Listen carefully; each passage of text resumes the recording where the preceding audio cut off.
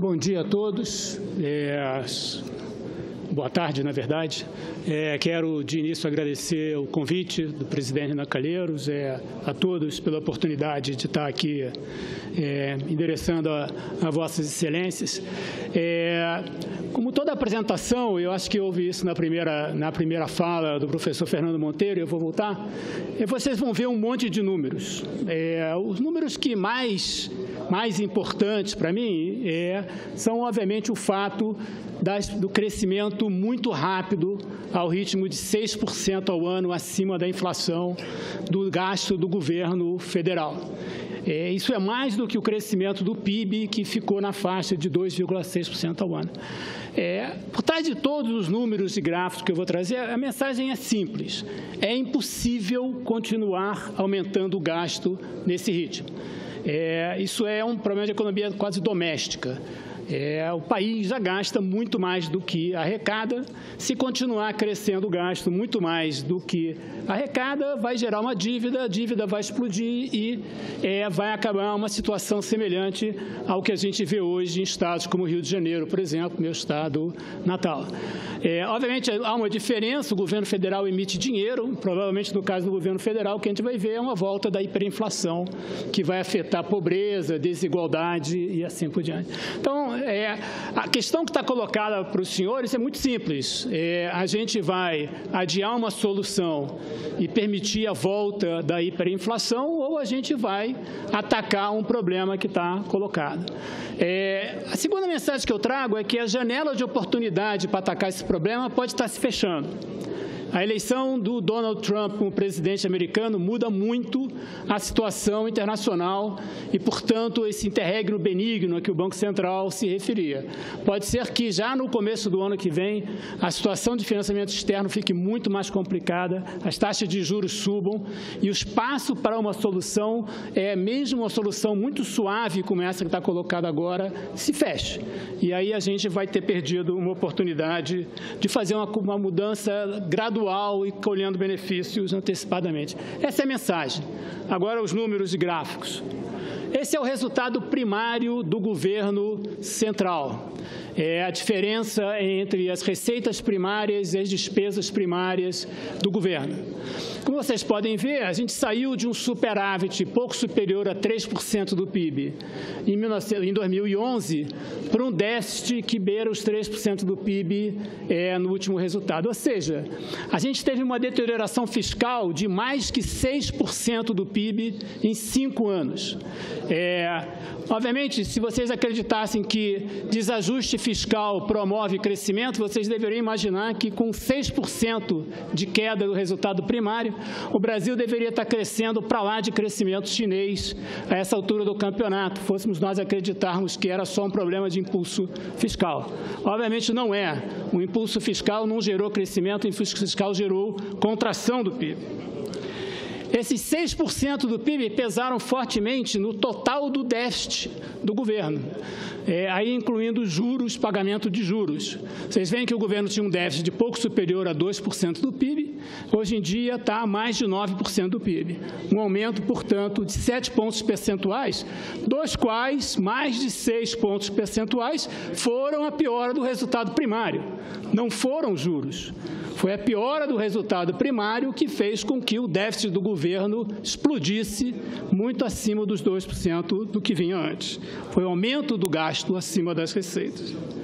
Obviamente, quem gasta mais do que arrecada na faixa de 10% do PIB, precisa que alguém pague essa conta.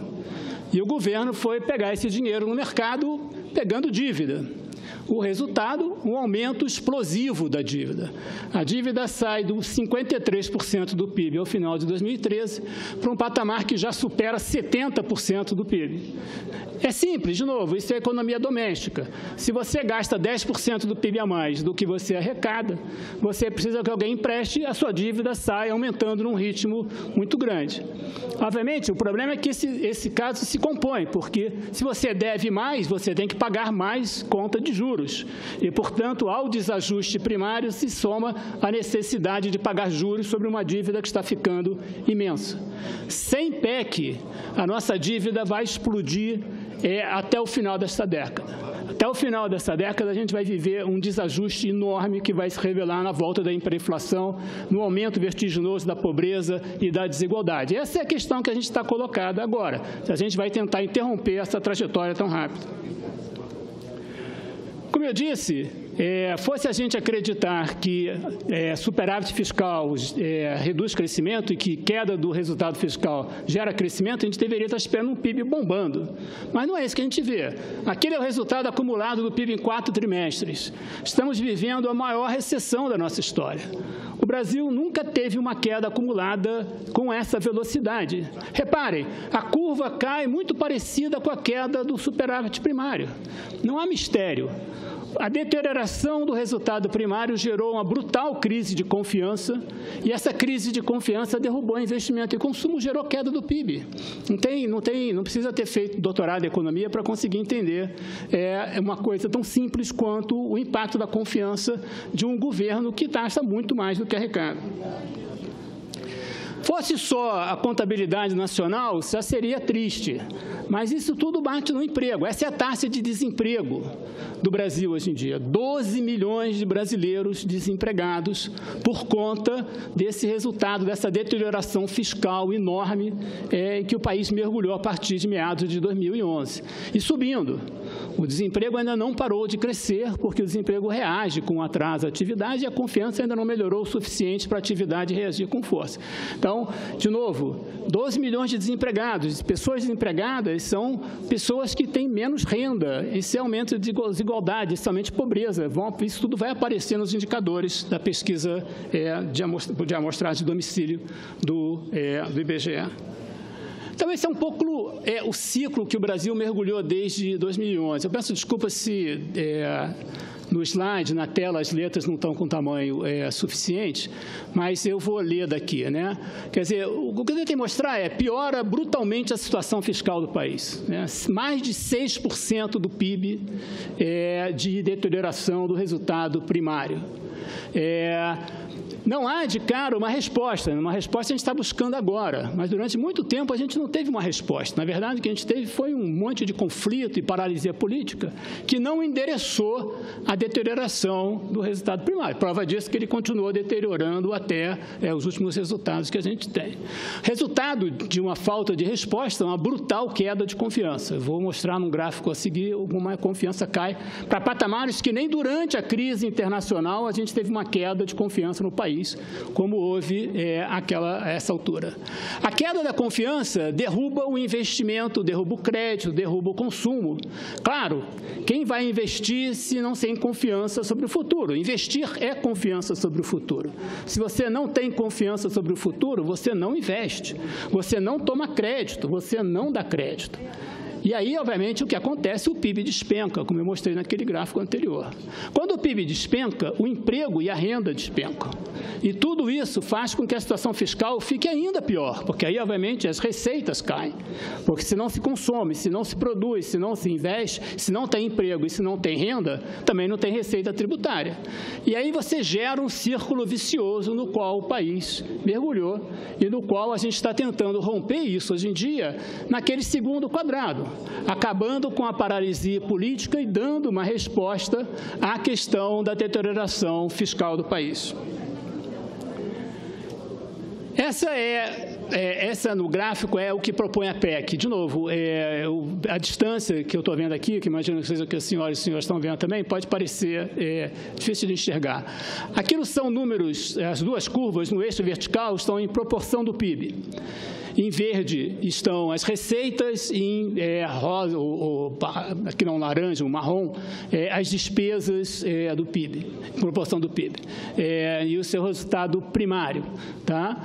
É, como vocês veem, as despesas que são a linha marrom estão acima das receitas, que são a linha verde, que mostra por que a gente tem um déficit hoje em dia.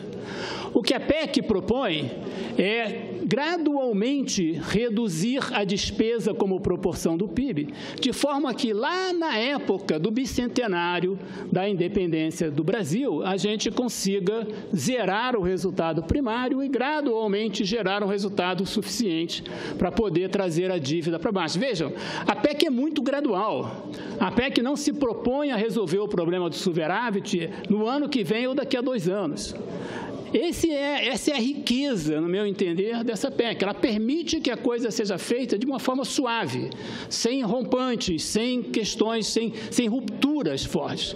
Só lá daqui a cinco, seis anos é que, na verdade, a PEC é, zeraria o resultado primário e, a partir daí, obviamente, conseguiria. E se a gente não tiver PEC? Se a gente não tiver PEC, a despesa vai crescer mais que a receita. De novo, olha para trás. a despesa cresce 6% ao ano, o PIB 2,6%. Quando a despesa quebra, cresce o dobro do que a receita cresce, não é difícil enxergar que a despesa vai ficar cada vez maior proporcionalmente à receita. Obviamente, esse é um cenário de Excel. Isso não vai existir na prática. Muito antes disso, a gente vai viver uma crise macroeconômica séria que vai simplesmente ou vai levar a situação do país semelhante ao que o Estado do Rio de Janeiro, infelizmente, vive hoje em dia, ou vai simplesmente levar à volta é, da hiperinflação.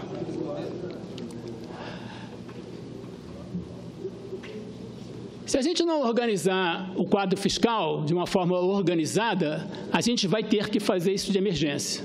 É, e aí, não tenham dúvida, a gente vai voltar para um regime de altíssima inflação como a gente viveu antes do, do, plano real. De novo, as alternativas são simples. Ou a gente vive a situação que o Estado do Rio de Janeiro hoje em dia tem, onde existe a obrigação da despesa, mas não existe o dinheiro para pagar a despesa.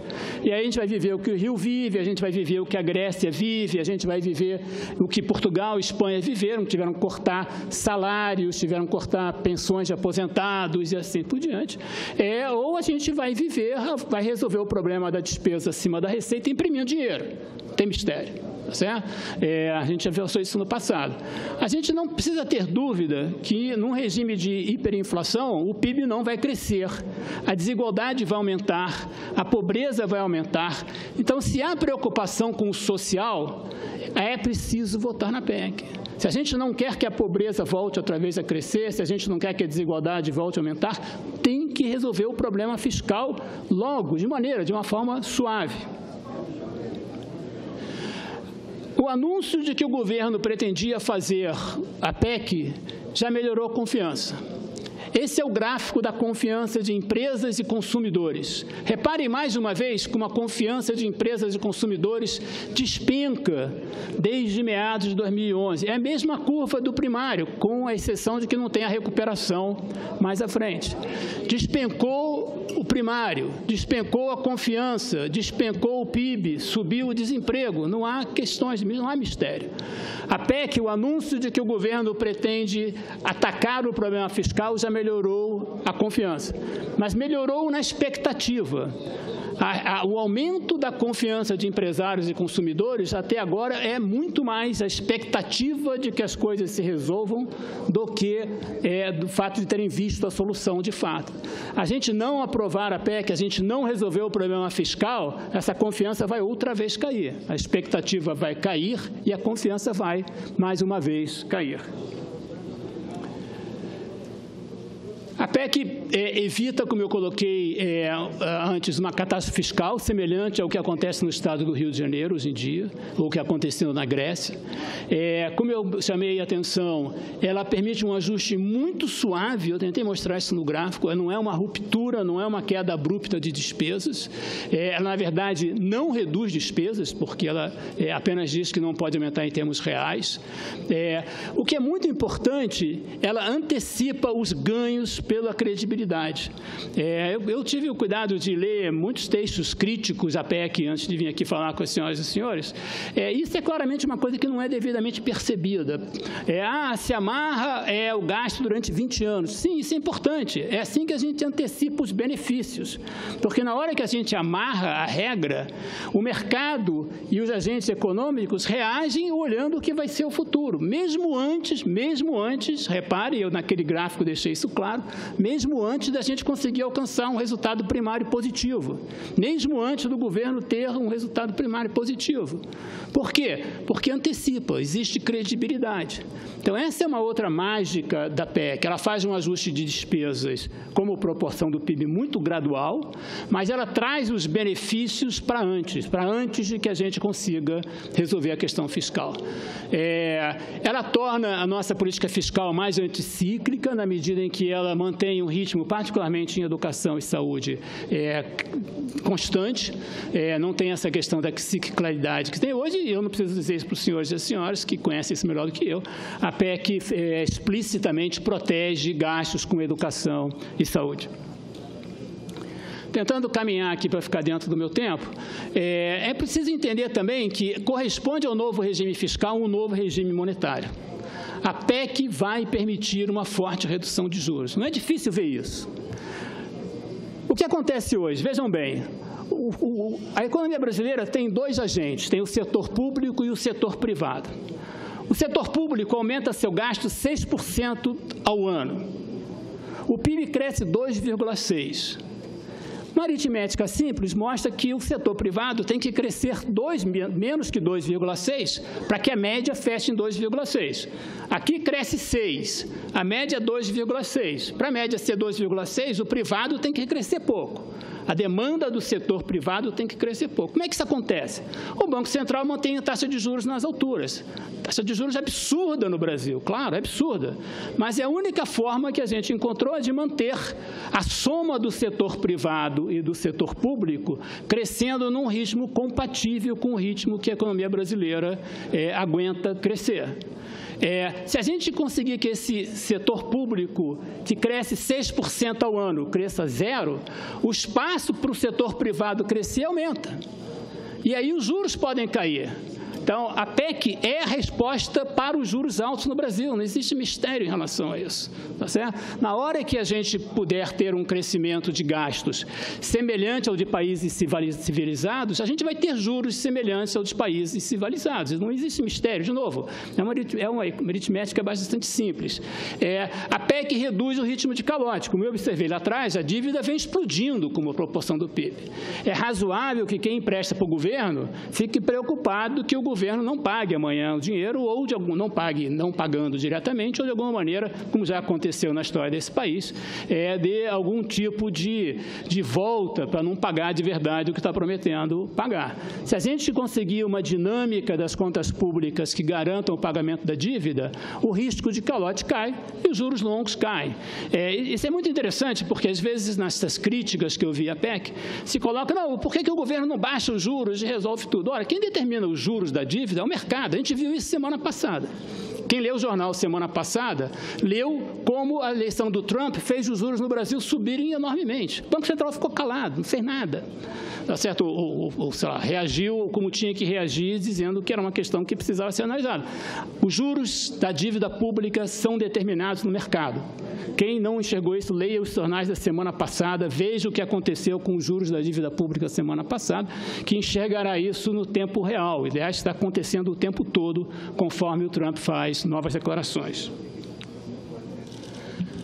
É, caminhando aqui para o meu final, é, eu acho que a gente, com, a, com a, é, a, PEC, a gente reverte aquele círculo vicioso que eu mostrei anteriormente, a gente dá uma resposta ao desajuste fiscal, a gente recupera a confiança, a recuperação da confiança que já começou no campo das expectativas vai fazer com que retorne investimento, vai fazer com que retorne consumo, vai fazer com que retorne o crédito.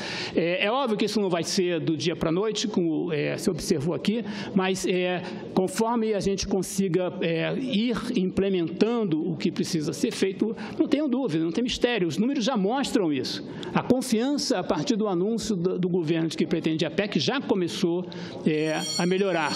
É, com o tempo, a recuperação de crescimento do emprego, do investimento, da renda, vai fazer com que também as receitas tributárias melhorem. E não só para a União, não é só um problema de governo central, vai fazer isso em estados e municípios. Lembrem, estados e municípios são os grandes grandes responsáveis por educação nesse país, 75%.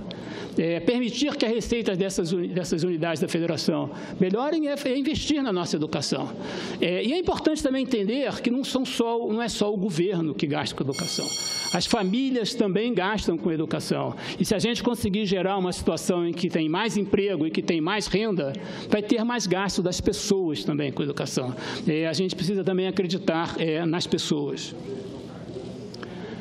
Concluir, eu só queria chamar a atenção é, de que o tempo, essa janela de oportunidade que a gente vem tendo por condições externas totalmente excepcionais, que resultam de taxas de juros negativas em economias como, como é, Alemanha, como Japão, taxas é, reais negativas nos Estados Unidos, geraram uma, uma quantidade de dinheiro solto no mundo muito grande. Esse dinheiro solto gerou muita tolerância com situações fiscais como a nossa. Mas essa situação pode mudar muito rápido. Há muita crítica a essas políticas de é, juros reais negativos sobre a dívida e a coisa já começou a mudar. Eu chamei a atenção dos senhores e das senhoras é, sobre a semana passada. A janela de oportunidade pode estar é, se fechando. Era isso. Muito obrigado.